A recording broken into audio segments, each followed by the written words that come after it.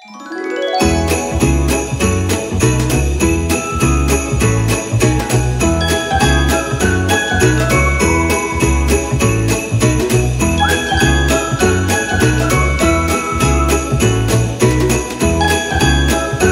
første låge i øh, min adventskalender, der kører her i december 2020, den handler om øh, bæredygtig gaveindpakning.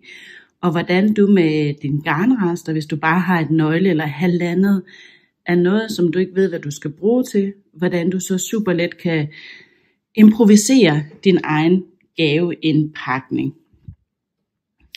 Noget af det, øh, jeg særligt bruger, når jeg skal i gang med det her, det er altså lidt papir, en kuglepind og en bog med nogle øh, mønsterrapporter i. Det kunne jo for eksempel være Lenes og min nye bog, Strik, en grundbog for både nørder og noviser. Men nu vil jeg lige fortælle øh, bag de tre poser, jeg har lavet her, eller de fire er det jo i virkeligheden. Denne her, den første, der har jeg bare strikket et rør. Jeg har slået masker op, der går op i mit maskeantal. Og det her maskeantal her, det var altså delbart med 10. Ergo har jeg slået 80 masker op. Og jeg har slået op sådan lidt på øh, gefyl. Det vil sige så, at øh, alligevel ikke helt, for jeg var inde og se på øh, en hue, jeg har strikket i Peruvian Highland Wool for Filgolana, og jeg har strikket på pind 3,5, for jeg ville gerne have, at det var så fast, at man ikke kan komme til at se igennem det. Så jeg har strikket lidt mere fast, end det garnet anbefaler. Og så har jeg været inde og se på når en hue i øh, Peruvian Highland Wool, hvad bliver den cirka? Hvor mange masker har sådan en cirka? Fordi det var sådan en god størrelse til den gave, jeg havde i tankerne for den her pose her. I kan godt se, at den mangler jo at blive blokket. Og så fordi der er snoninger på, så er snoningerne jo et lidt af omkredsen, fordi snoninger, de æder af omkredsen, de trækker det hele lidt sammen. I kan se, der er lige mange masker her over min snoning, og over de her fire masker glatstrik. Og de fire masker glatstrik, de fylder altså mere end snoningen. Så det gav sig selv. Så øh, et stykke ned, så har jeg strikket nogle knaphuller, øh, to ret sammen, slå om, eller slå om to ret sammen, det bestemmer man selv. Og så har jeg fortsat, indtil jeg næsten ikke havde mere garn. Og så har jeg vendt vrangen ud, og så har jeg lukket af med en trepins aflukning her. Og prøv at se, her der har jeg ikke engang været sådan særlig påpasselig, for jeg har en øh, snoning, der møder en, øh, en glat strik. Men det synes jeg er lige meget, lige præcis til denne her. Godt. Så har vi den her. Der har jeg strikket øh, bikubmønster, men har brudt det med, med to rangmasker. Og begge to her, det er jo snoninger. Og igen her, så har jeg faktisk bare slået det samme antal masker op, fordi den var også delbar med 10, så jeg har slået det samme antal masker op, som til den anden. Men her, der er jeg sluttet med en rund bund. Og det, jeg har gjort med bunden her, det er, at jeg har delt maskeantallet. Se her.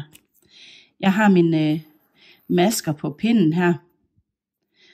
Og øh, lad os bare sige, at det var 80 masker så deler jeg de 80 masker i 8, så altså 1, 2, 1, 2, 3, 4, 5, 6, 7, 8. Og fordi det var 80 masker, jeg havde på pinden, og jeg har delt dem i 8, så har jeg jo 10 masker i alle de her sektioner her. Så jeg har 10 masker rundt på pinden. Jeg kan sætte en markør for hver 10 masker.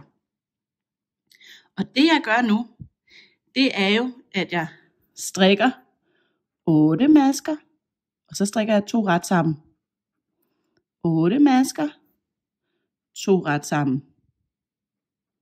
Og det gør jeg hele vejen rundt. Og så har jeg ikke længere 10 masker i min sektion. Så har jeg 9 masker i min sektion. Næste gang, på næste omgang, og her ved snogningerne, fordi at glatstrik fylder mere end snoninger, så jeg valgt at tage ind på hver evig eneste omgang. Så på næste omgang, så i stedet for, hvor jeg før strikkede 8 og to ret sammen, eller strikkede hen til der var to masker før markøren, kunne man også sige, så er der nu syv masker to ret sammen. Hele vejen rundt. Og så står der så otte masker tilbage på pinden. Og når der er otte masker tilbage på pinden, jamen så er det jo seks ret, to ret sammen. Eller til der er to masker tilbage på pinden, altså før øh, markøren. Og sådan bliver jeg bare ved. Og jeg bliver ved til, at jeg sådan har et sted mellem 8 og 10 masker tilbage på snoren, så bryder jeg garnet, eller på pinden, så bryder jeg garnet og trækker igennem, og trækker om på den anden side og hæfter ender. Jeg vil vise en mere. Denne her, det er faktisk et uheld. Jeg troede, jeg havde to nøgler af den samme farve, men det viser, at øh, fordi jeg havde set om aftenen, så var den ene lyseblå, og den anden var lysegrøn. Så jeg havde faktisk ikke så meget, som jeg troede, jeg havde. Så prøv at se her. Det jeg har gjort her, jeg ville i virkeligheden have haft sådan en øh, Mary Poppins form, sådan ligesom I ved, sådan en taske, der er smal for oven, og så kommer der ligesom sådan en taske for neden. Sådan blev det ikke lige. Men jeg bruger den alligevel. Jeg startede her, det er bare en ren rib. Så har jeg strikket rib, og så har jeg lavet mine knaphuller her. Jeg har knaphuller i dem alle sammen, og det er de der to er sammen, to, øh, to eller slå om.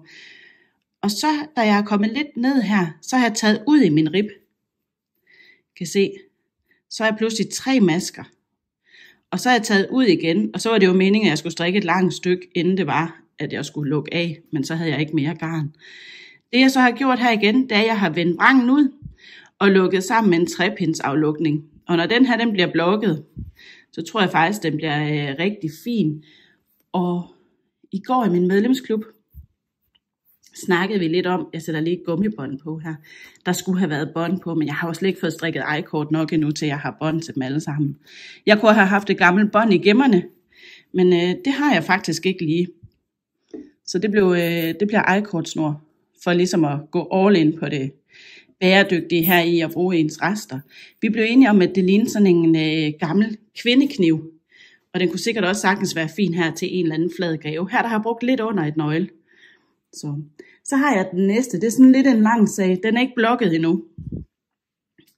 Det er jacquard-strik. Det kunne være, hvis man skulle øve sig på jacquard.